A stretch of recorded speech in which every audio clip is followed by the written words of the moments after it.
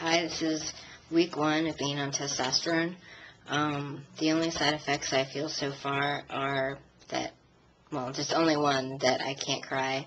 Or maybe I can cry, but just not as easily. Um, it feels like a sneeze, like it's about to happen, and then it just doesn't happen.